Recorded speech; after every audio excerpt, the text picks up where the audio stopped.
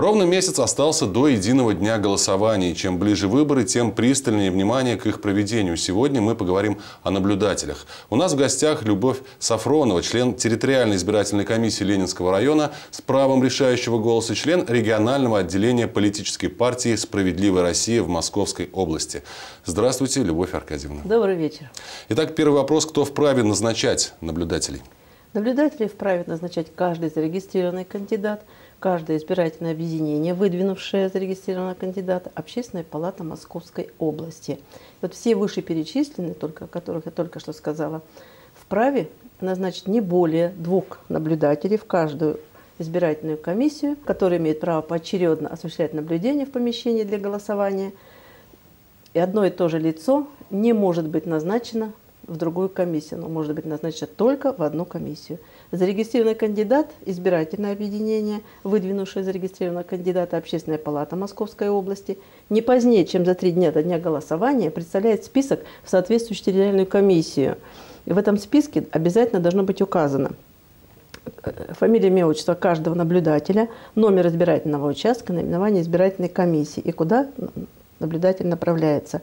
Полномочия наблюдателя удостоверяются письменно в которое выдает зарегистрированный кандидат, избирательное объединение, выдвинувшее зарегистрированного кандидата, Общественная палата Московской области. В этом направлении обязательно указывается фамилия, имя, отчество, адрес места жительства, телефон при наличии, наименование избирательной территориальной или участковой комиссии, а также делается запись об отсутствии ограничений в соответствии с законом.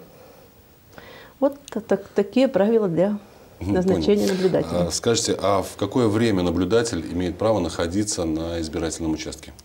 Находиться на избирательном участке наблюдатель может с момента начала работы участковой избирательной комиссии в день голосования и до получения сообщения от вышестоящей избирательной комиссии о приеме протокола об итогах голосования, а также при повторном подсчете голосов избирателей – также наблюдатель может находиться и в иных избирательных комиссиях при установлении итогов голосования и определении результатов выборов. И также может наблюдатель находиться в этих иных избирательных комиссиях при подсчете повторном голосов избирателей. А каковы действия э, наблюдателя на избирательном участке?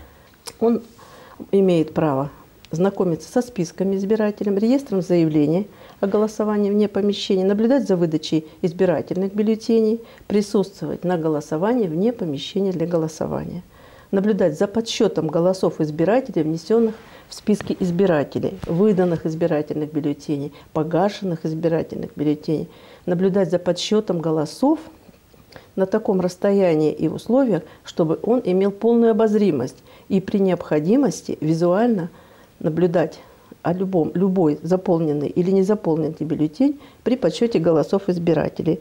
Может вести фото, видеосъемку, но только все это согласовав с председателем. Отлично, спасибо за исчерпывающие ответы. Спасибо, что пришли к нам на эфир. А я напомню, что мы беседовали с членом территориальной избирательной комиссии Ленинского района с правом решающего голоса, членом регионального отделения политической партии «Справедливая Россия» в Московской области Любовью Сафроновой.